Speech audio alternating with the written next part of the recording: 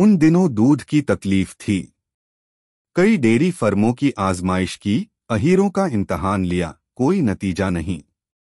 दो चार दिन तो दूध अच्छा मिलता फिर मिलावट शुरू हो जाती।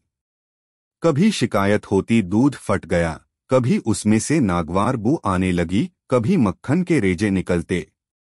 आखिर एक दिन एक दोस्त से कहा, भाई, आओ साझे में एक गाय ले लें। तुम्हें भी दूध का आराम होगा। मुझे भी लागत आधी आधी, खर्च आधा आधा, दूध भी आधा आधा। दोस्त साहब राज़ी हो गए। मेरे घर में जगह न थी और गोबर वगैरह से मुझे नफरत है। उनके मकान में काफ़ी जगह थी, इसलिए प्रस्ताव हुआ कि गाय उन्हीं के घर रहे। इसके बदले में उन्हें गोबर पर एक छत्र अधिकार रहे। वह उसे पूरी आज़ादी से पाथें।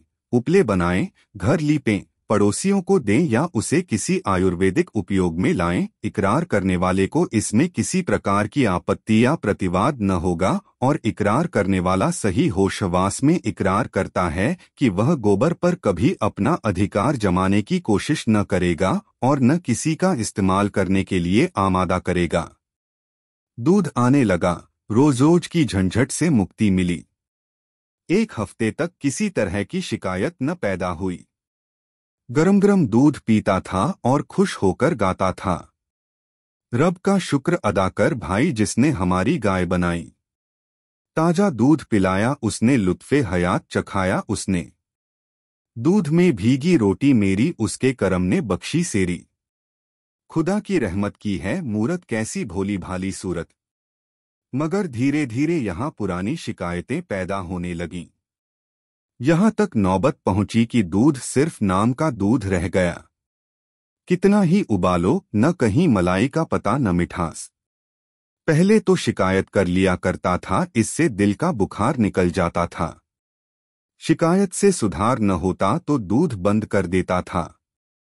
अब तो शिकायत का भी मौका न था। बंद कर देने का ज़िक्र ही क्या भिखारी का गुस्सा अपनी जान पर पियो या नाले में डाल दो आठ आने रोज का नुस्खा किस्मत में लिखा हुआ। बच्चा दूध को मुँह न लगाता, पीना तो दूर रहा। आधों आध शक्कर डालकर कुछ दिनों दूध पिलाया तो फोड़े निकलने शुरू हुए और मेरे घर में रोज बमचक मची रहती थी। बीवी नौकर से फरमाती दूध ले जाकर उन्हीं के सरपटक आमे नौकर को मना करता। वह कहती अच्छे दोस्त है तुम्हारे, उसे शर्म भी नहीं आती। क्या इतना अहमक है कि इतना भी नहीं समझता कि यह लोग दूध देखकर क्या कहेंगे? गाय को अपने घर मंगवा लो, बला से बदबू आएगी, मच्छर होंगे, दूध तो अच्छा मिलेगा। रुपए खर्चे हैं तो उसका मज़ा तो मिलेगा। चड्ढा साहब मेरे पुराने मेहरबान हैं। खांसी बेतकल्लुफी है उनसे। यह हरकत उनकी जानकारी में होती हो, यह बात किसी तरह गले के नीचे नहीं उतरती। या तो उनकी बीवी की शरारत है, या नौकर की, लेकिन ज़िक्र कैसे करूँ? और फिर उनकी बीवी से भी तो राहस्म है। कई बार मेरे घर आ चुकी हैं। मेरी बीवी जी भी उनके यहाँ कई बार मेहमान बनकर जा चुकी हैं। क्या वह यकायक इतनी बेवकूफ़ हो जाएँगी? सरीहन आँखों में धूल झोंकेंगी। और फिर चाहे किसी की शरारत हो, मेरे लिए यह गैर मुमकिन था कि उनसे दूध की खराबी की शिकायत करता। खैरियत यह हुई कि तीसरे महीने चड्ढा का तबादला हो गया। मैं अकेले गाय न रख सकता था। साझा टूट गया। गाय आधे दामों बेच दी गई। मैंने उस दिन इत्मीनान की सांस ली। आखिर यह सलाह हुई कि एक बकरी रख ली जाए। वह बीच आँगन के एक कोने में पड़ी रह सकती है। उसे धोने के लिए न ग्वाले की ज़रूरत न उसका गोबर उठाने, नांद धोने, चारा भूसा डालने के लिए किसी अहिरिन की ज़रूरत। बकरी तो मेरा नौकर भी आसानी से दुह लेगा। थोड़ी सी चोकर डाल दी, चलिए किस्सा तमाम हुआ। फिर बकरी का दूध फ़ायदेमंद भी ज़्यादा है बच्चों के लिए खास तौर पर। जल्दी हजम होता है, न गर्मी करे, न सर्दी, स्वास्थ्यवर्धक है। संयोग से मेरे यहाँ जो पंडित जी मेरे मसौदे नकल करने आया करते थे, इन मामलों में काफ़ी तजुर्बेकार थे। उनसे ज़िक्र आया तो उन्होंने एक बकरी की ऐसी स्तुति गाई, उसका ऐसा कसीदा पढ़ा कि मैं बिन देखे ही उसका प्रेमी हो गया। पछाही नस्ल की बकरी है ऊँचे कद की बड़े बड़े थन जो ज़मीन से लगते चलते हैं। बेहद कमखोर लेकिन बेहद दुधार। एक वक्त में दो ढाई सेर दूध ले लीजिए। अभी पहली बार ही बियाई है। पच्चीस रुपए में आ जाएगी। मुझे दाम कुछ ज़्यादा मालूम हुए, लेकिन पंडित जी पर मुझे एतबार था। फरमाइश कर दी गई और तीसरे दिन बकरी आ पहुँची। मैं देखकर उछल पड़ा। जो जो गुण बताए गए थे, उनसे कुछ ज़्यादा ही निकले। एक छोटी सी मिट्टी की नांद मंगवाई गई। चोकर का भी इंतज़ाम हो गया। शाम को मेरे नौकर ने दूध निकाला तो सचमुच ढाई से। मेरी छोटी पतीली लबालब भर गई थी। अब मूसलों ढोल बजाएँगे। यह मसला इतने दिनों के बाद जाकर कहीं हल हुआ। पहले ही यह बात सूझती तो क्यों इतनी परेशानी होती? पंडित जी का बहुत बहुत शुक्रिया अदा किया। मुझे सवेरे तड़के और शाम को उसकी सींग पकड़ने पड़ते थे तब आदमी दुह पाता था। लेकिन यह तकलीफ़ इस दूध के मुकाबले में कुछ न थी। बकरी क्या है कामधेनु है? बीवी ने सोचा इसे कहीं नज़र न लग जाए इसलिए उसके थन के लिए एक गिलाफ तैयार हुआ। इसकी गर्दन में नीले चीनी के दानों का एक माला पहनाया गया। घर में जो कुछ जूठा बचता, देवी जी खुद जाकर उसे खिला आती थीं। लेकिन एक ही हफ़्ते में दूध की मात्रा कम होने लगी। ज़रूर नज़र लग गई। बात क्या है? पंडित जी से हाल कहा तो उन्होंने कहा, साहब, देहात की बकरी है, जमींदार की बेदरेग अनाज खाती थी और सारे दिन बाग में घुमाचरा करती थी। यहाँ बंधे बंधे दूध कम हो जाए तो ताज्जुब नहीं। इसे जरा टहला दिया कीजिए। लेकिन शहर में बकरी को टहलाए कौन और कहा? इसलिए यह तय हुआ कि बाहर कहीं मकान लिया जाए। वहाँ बस्ती से जरा निकलकर खेत और बाग है। कहार घंटे दो घंटे टहला लाया करेगा।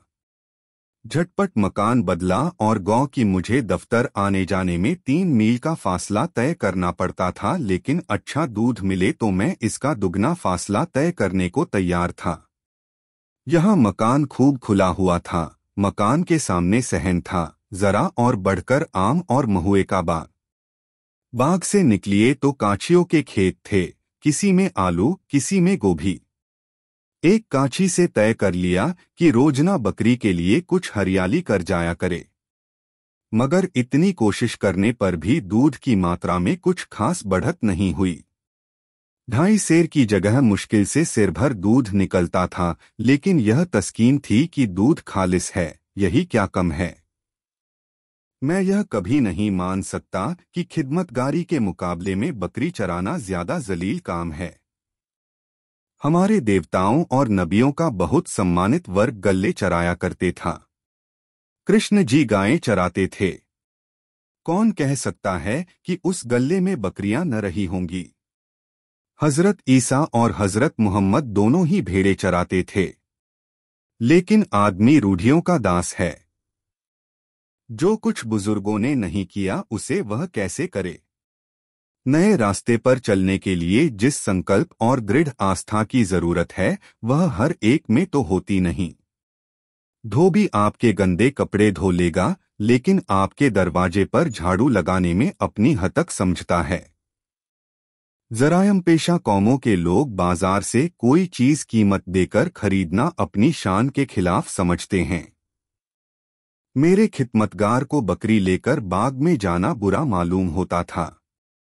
घर से तो ले जाए लेकिन बाग में उसे छोड़कर खुद किसी पेड़ के नीचे सो जाता। बकरी पत्तियाँ चर लेती थी।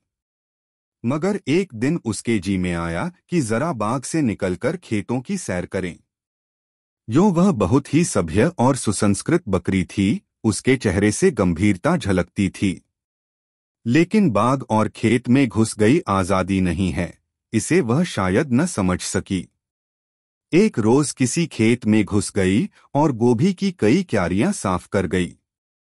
काची ने देखा तो उसके कान पकड़ लिए और मेरे पास लाकर बोला, बाबूजी, इस तरह आपकी बकरी हमारे खेत चरेगी तो हम तो तबाह हो जाएँगे। आपको बकरी रखने का शौक है तो इस बाँध कर रखिए। आज तो हमने आपका लिहाज किया, लेकिन फिर हमारे खेत में गई तो हम या तो उसकी टांग तोड़ देंगे या कानी हौज भेज देंगे। अभी वह अपना भाषण खत्म न कर पाया था कि उसकी बीवी आ पहुँची और उसने इसी विचार को और भी जोरदार शब्दों में अदा किया हाँ हाँ करती ही रही मगर रांड खेत में घुस गई और सारा खेत चौपट कर दिया, इसके पेट में भवनी बैठे। यहाँ कोई तुम्हारा दबैल नहीं है। हाकिम होंगे, अपने घर के होंगे। बकरी रखना है तो बाँध कर रखो, नहीं गला ऐंठ दूँगी। मैं भीगी बिल्ली बना हुआ खड़ा था। जितनी फटकर आज सहनी पड़ी, उतनी ज़िंदगी में कभी न सही। और जिस धीरज से आज काम लिया, अगर उसे दूसरे मौकों पर काम लिया होता तो आज आदमी होता। कोई जवाब नहीं सूझता था। बस यही जी चाहता था कि बकरी का गला घोंट दूँ और खिदमतगार को डेढ़ सौ हंटर जमाऊं। मेरी खामोशी से वह औरत भी शेर होती जाती थी। आज मुझे मालूम हुआ कि किन्हीं किन्हीं मौकों पर खामोशी नुकसानदेह साबित होती है।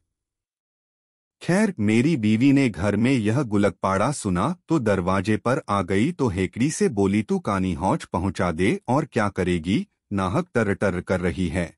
घंटे भर से। जानवर ही है, एक दिन खुल गई तो क्या उसकी जान लेगी? खबरदार जो एक बात भी मुँह से निकाली। क्यों नहीं खेत के चारों तरफ़ झाड़ लगा देती, कांटों से रूंध दे अपनी गलती तो मानती नहीं, ऊपर से लड़ने आई है।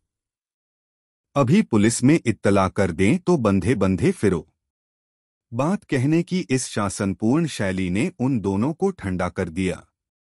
लेकिन उनके चले जाने के बाद मैंने देवी जी की खूब खबर ली, गरीबों का नुकसान भी करती हो और ऊपर से रोग जमाती हो, इसी का नाम इंसाफ है। देवी जी ने गर्वपूर्वक उत्तर दिया, मेरा एहसान तो न मानोगे कि शैतनों को कितनी आसानी से भगा दिया, लगे उल्टे डांटने। गमवारों को राह बतलाने का सख्ती के सिवा दूसरा कोई तरीका नहीं। सज्जनता या उदारता उनकी समझ में नहीं आती। उसे यह लोग कमज़ोरी समझते हैं और कमज़ोर को कौन नहीं दबाना चाहता। खिदमतगार से जवाब तलब किया तो उसने साफ़ कह दिया, साहब, बकरी चराना मेरा काम नहीं है। मैंने कहा, तुमसे बकरी चराने को कौन कहता है? जरा उसे देखते रहो, करो कि किसी खेत में न जाए, इतना भी तुमसे नहीं हो सकता। मैं बकरी नहीं चरा सकता, साहब, कोई दूसरा आदमी रख लीजिए। आखिरी मैंने खुद शाम को उसे बाग में चरा लाने का फैसला किया। इतने जरा से काम के लिए एक नया आदमी रखना मेरी हैसियत से बाहर था। और अपने इस नौकर को जवाब भी नहीं देना चाहता था जिसने कई साल तक वफादारी से मेरी सेवा की थी और ईमानदार था। दूसरे दिन में दफ्तर से जरा जल्द चला आया और चटपट बकरी को लेकर बाग में जा पहुँचा। जाड़ों के दिन थे। ठंडी हवा चल रही थी। पेड़ों के नीचे सूखी पत्तियाँ गिरी हुई थीं। बकरी एक पल में वह जा पहुँची। मेरी दलेल हो रही थी, उसके पीछे पीछे दौड़ता फिरता था। दफ्तर से लौटकर जरा आराम किया करता था। आज यह कवायद करना पड़ी, थक गया, मगर मेहनत सफल हो गई, आज बकरी ने कुछ ज़्यादा दूध दिया। यह ख्याल आया अगर सूखी पत्तियाँ खाने से दूध की मात्रा बढ़ गई तो यकीनन हरी पत्तियाँ खिलाई जाएँ तो इससे कहीं बेहतर नतीजा निकले। लेकिन हरी पत्तियाँ आए कहाँ से? पेड़ों से तोड़ून तो बाग का मालिक ज़रूर एतराज़ करेगा। कीमत देकर हरी पत्तियाँ मिल न सकती थीं। सोचा, क्यों एक बार बाँस के लग्गे से पत्तियाँ तोड़े? मालिक ने शोर मचाया तो उससे आरज़ू मिन्नत कर लेंगे। राज़ी हो गया तो खैर नहीं देखी जाएगी। थोड़ी सी पत्तियाँ तोड़ लेने से पेड़ का क्या बिगड़ जाता है? चुनाचे एक पड़ोसी से एक पतला लंबा बाँस मांग लाया। उसमें एक औंकुश बांधा और शाम को बकरी को साथ लेकर पत्तियाँ तोड़ने लगा। चोर आँखों से इधर उधर देखता जाता था। कहीं मालिक तो नहीं आ रहा है। अचानक वही काछी एक तरफ़ से आ निकला और मुझे पत्तियाँ तोड़ते देखकर बोला, यह क्या करते हो बाबूजी? आपके हाथ में यह लग्गा अच्छा नहीं लगता। बकरी पालना हम गरीबों का काम है कि आप जैसे शरीफों का। मैं कट गया, कुछ जवाब न सूझा। इसमें क्या बुराई है? अपने हाथ से अपना काम करने में क्या शर्म वगैरह? जवाब कुछ हल्के, बहकीकत, बनावटी मालूम हुए। सफ़ेद पोशी के आत्मगौरव के जबान बंद कर दी काछी ने पास आकर मेरे हाथ से लग्गा ले लिया और देखते देखते हरी पत्तियों का ढेर लगा दिया और पूछा, पत्तियाँ कहाँ रख जाऊँ? मैंने झेमपते हुए कहा, तुम रहने दो। मैं उठा ले जाऊँगा। उसने थोड़ी सी पत्तियाँ बगल में उठा लीं और बोला, आप क्या पत्तियाँ रखने जाएँगे? चलिए मैं रखाऊं। मैंने बरामदे में पत्तियाँ रखवा लीं। उसी पेड़ के नीचे उसकी चौगुनी पत्तियाँ पड़ी हुई थी। कांची ने उनका एक गट्ठा बनाया और सर पर लाद कर चला गया। अब मुझे मालूम हुआ, यह देहाती कितने चालाक होते हैं। कोई बात मतलब से खाली नहीं। मगर दूसरे दिन बकरी को बाग में ले जाना मेरे लिए कठिन हो गया। कांची फिर देखेगा और न जाने क्या क्या फिक्रे चुस्त करे। उसकी नज़रों में गिर जाना मुँह से कालिक लगाने से कम शर्मनाक न था। हमारे सम्मान और प्रतिष्ठा की जो कसौटी लोगों ने बना रखी है, हमको उसका आदर करना पड़ेगा, नक्कू बनकर रहे तो क्या रहे। लेकिन बकरी इतनी आसानी से अपनी निर्द्वंद्व आज़ाद चहलकदमी से हाथ न खींचना चाहती थी जिसे उसने अपने साधारण दिनचर्या समझना शुरू कर दिया था। शाम होते ही उसने इतने ज़ोर शोर से प्रतिवाद का स्वर उठाया कि घर में बैठना मुश्किल हो गए। गिटकिरीदार मेमे का निरंतर स्वर आकर कान के पर्दों को क्षतविक्षत करने लगा। कहाँ भाग जाऊँ? बीवी ने उसे गालियाँ देना शुरू की। मैंने गुस्से में आकर कई डंडे रसीदे किए मगर उसे सत्याग्रह स्थगित न करना था, न किया। बड़े संकट में जान थी। आखिर मजबूर हो गया। अपने किए का क्या इलाज? आठ बजे रात, जाड़ों के दिन। घर से बाहर मुँह निकालना मुश्किल और मैं बकरी को बाग में टहला रहा था और अपनी किस्मत को कोस रहा था। अंधेरे में पाव रखते मेरी रूह कापती है। एक बार मेरे सामने से एक सांप निकल गया था। अगर उसके ऊपर पैर पड़ जाता तो ज़रूर काट लेता। तब से मैं अंधेरे में कभी न निकलता था। मगर आज इस बकरी के कारण मुझे इस खतरे का भी सामना करना पड़ा। जरा भी हवा चलती और पत्ते खड़कते तो मेरी आँखें ठिठुर जाती और पिंडलियाँ कौपने लगती। शायद उस जन्म में मैं बकरी रहा हूँगा और यह बकरी मेरी मालकिन रही होगी।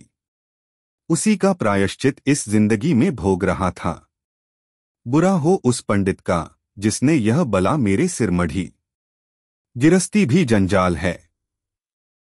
बच्चा न होता तो क्यों इस मूजी जानवर की इतनी खुशामद करनी पड़ती?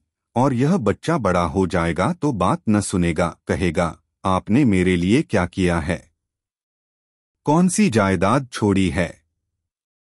यह सजा भुगत कर नौ बजे रात को लौटा।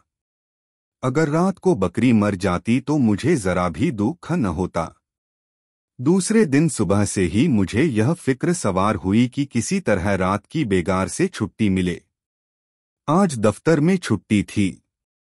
मैंने एक लंबी रस्सी मंगवाई और शाम को बकरी के गले में रस्सी डाल एक पेड़ की जड़ से बांधकर सो गया, अब चरे जितना चाहे।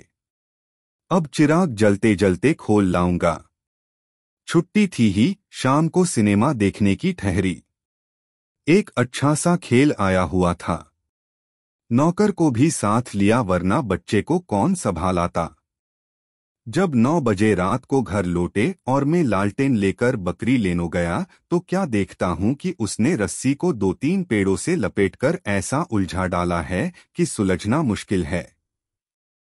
इतनी रस्सी भी न बची थी कि वह एक कदम भी चल सकती। लाहौल विकलाकुवत, जी में आया कि कमबख्त को यहीं छोड़ दूँ, मरती है तो मर जाए अब इतनी रात को लालटेन की रोशनी में रस्सी सुलझाने बैठे। लेकिन दिल न माना। पहले उसकी गर्दन से रस्सी खोली, फिर उसकी पेंच दर पेंच ऐंठन छुड़ाई, एक घंटा लग गया। मारे सर्दी के हाथ ठिठुरे जाते थे, और जी जल रहा था वह अलग। यह तरकीब, और भी तकलीफ़ देह साबित हुई। अब क्या करूँ, अक्ल काम न करती थी। दूध का ख्याल न होता तो किसी को मुफ़्त दे देता। शाम होते ही चुड़ैल अपनी चीख पुकार शुरू कर देगी और घर में रहना मुश्किल हो जाएगा और आवाज़ भी कितनी करकश और मनहूस होती है। शास्त्रों में लिखा भी है, जितनी दूर उसकी आवाज़ जाती है, उतनी दूर देवता नहीं आते। स्वर्ग की बसने वाली हस्तियाँ जो अप्सराओं के गाने सुनने की आदि है उसकी कर्कश आवाज़ से नफरत करें तो क्या ताजुब मुझ पर उसकी कर्ण कटु पुकारों को ऐसा आंतक सवार था कि दूसरे दिन दफ्तर से आते ही मैं घर से निकल भागा। लेकिन एक मील निकल जाने पर भी ऐसा लग रहा था कि उसकी आवाज़ मेरा पीछा किए चली आती है। अपने इस चिड़चिड़ेपन पर शर्म भी आ रही थी। जिसे एक बकरी रखने की भी सामर्थ्य न हो, वह इतना नाजुक दिमाग क्यों बने? और फिर तुम सारी रात तो घर से बाहर रहोगे नहीं? आठ बजे पहुंचोगे तो क्या वह गीत तुम्हारा स्वागत न करेगा? सहसा एक नीची शाखों वाला पेड़ देखकर मुझे बरबस उस पर चढ़ने की इच्छा हुई। सपाट तनों पर चढ़ना मुश्किल होता है। यहाँ तो छह सात फुट की ऊंचाई पर शाखें फूट गई थीं। हरी हरी पत्तियों से पेड़ लदा खड़ा था और पेड़ भी था गूलर का जिसकी पत्तियों से बकरियों को खास प्रेम है। मैं इधर तीस साल से किसी रुख पर नहीं चढ़ा, वह आदत जाती रही। इसलिए आसान चढ़ाई के बावजूद मेरे पाँव काँप रहे थे, पर मैंने हिम्मत न हारी और पत्तियों तोड़ तोड़ नीचे गिराने लगा। यहाँ अकेले में कौन मुझे देखता है कि पत्तियाँ तोड़ रहा हूँ? अभी अंधेरा हुआ जाता है। पत्तियों का एक गट्ठा बगल में दबाऊँगा और घर जा पहुंचूँगा। अगर इतने पर भी बकरी ने कुछ चींच पड़ की तो उसकी शामत ही आ जाएगी। मैं अभी ऊपर ही था कि बकरियों और भेड़ों का एक गोल न जाने किधर से आ निकला और पत्तियों पर पिल पड़ा। मैं ऊपर से चीख रहा हूँ, मगर कौन सुनता है? चरवाहे का कहीं पता नहीं। कहीं दुबक रहा होगा कि देख लिया जाऊँगा तो गालियाँ पड़ेंगी। जल्लाकर नीचे उतरने लगा। एक एक पल में पत्तियाँ गायब होती जाती थी। उतरकर एक एक की टांग तोड़ूँगा। यकायक पाव फिसला और मैं दस फीट की ऊंचाई से नीचे आ रहा। कमर में ऐसी चोट आई कि पाँच मिनट तक आँखों तले अंधेरा छा गया। खैरियत हुई कि और ऊपर से नहीं गिरा। नहीं तो यही शहीद हो जाता। बारे, मेरे गिरने के धमाके से बकरियाँ भागी और थोड़ी सी पत्तियाँ बच रहीं। जब जरा होश ठिकाने हुए तो मैंने उन पत्तियों को जमा करके एक गट्ठा बनाया और मजदूरों की तरह उसे कंधे पर रखकर शर्म की तरह छिपाए घर चला। रास्ते में कोई दुर्घटना न हुई। जब मकान कोई चार फलांग रह गया और मैंने कदम तेज किए कि कहीं कोई देख न ले तो वह कांची समाने से आता दिखाई दिया। कुछ न पूछो उस वक्त मेरी क्या हालत हुई। रास्ते के दोनों तरफ़ खेतों की ऊँची मेड़े थीं, जिनके ऊपर नागफनी निकलेगा और भगवान जाने क्या सितम ढाए। कहीं मुड़ने का रास्ता नहीं। सिर झुकाकर इस तरह निकल जाना चाहता था कि कोई मजदूर है। तले की सांस तले थी, ऊपर की ऊपर। जैसे वह कांची कोई खूंखार शेर हो बार बार ईश्वर को याद कर रहा था कि, हे भगवान, तू ही आफत के मारे हुओं का मददगार है, इस मरदूद की जबान बंद कर दे, एक क्षण के लिए इसकी आँखों की रोशनी गायब कर दे। आह, वह यंत्रणा का क्षण जब मैं उसके बराबर एक गज के फासले से निकला। एक एक कदम तलवार की धार पर पड़ रहा था, शैतानी आवाज़ कानों में आई, कौन है रे, कहाँ से पत्तियाँ तोड़े लाता है? मुझे मालूम हुआ, नीचे से ज़मीन निकल गई है, और मैं उसके गहरे पेट में जा पहुँचा हूँ। रोए बर्चियाँ बने हुए थे, दिमाग में उबाल सा आ रहा था, शरीर को लकवासा मार गया, जवाब देने का होश न रहा। तेज़ी से दो तीन कदम आगे बढ़ गया, मगर वह ऐच्छिक क्रिया न थी प्राण रक्षा की सहज क्रिया थी कि एक जालिम हाथ गट्ठे पर पड़ा और गट्ठा नीचे गिर पड़ा, फिर मुझे याद नहीं, क्या हुआ। मुझे जब होश आया तो मैं अपने दरवाजे पर पसीने से तर खड़ा था, गोया मिर्गी के दौरे के बाद उठा हूँ। इस बीच मेरी आत्मा पर उपचेतना का आधिपत्य था और बकरी की वह घृणित आवाज़, वह कर्कश आवाज़, वह हिम्मत तोड़ने वाली आवाज़, वह दुनिया की सारी मुसीबतों का खुलसा, वह दुनिया की सारी लांतों की रूह कानों में चुभी जा रही थी। बीवी ने पूछा, आज कहाँ चले गए थे? इस चुड़ैल को जरा बाग भी न ले गए, जीना मुहाल किए देती है। घर से निकलकर कहाँ चली जाऊँ? मैंने इत्मीनान दिलाया, आज चिल्ला लेने दो, कल सबसे पहला यह काम करूँगा कि इसे घर से निकाल बाहर करूँगा, चाहे कसाई को देना पड़े। और लोग न जाने कैसे बकरियाँ पालते हैं। बकरी पालने के लिए कुत्ते का दिमाग चाहिए। सुबह को बिस्तर से उठकर इसी फ़िक्र में बैठा था कि इस काली बला से क्यों कर मुक्ति मिले कि सहसा एक गडरिया बकरियों का एक गल्ला चराता हुआ आ निकला।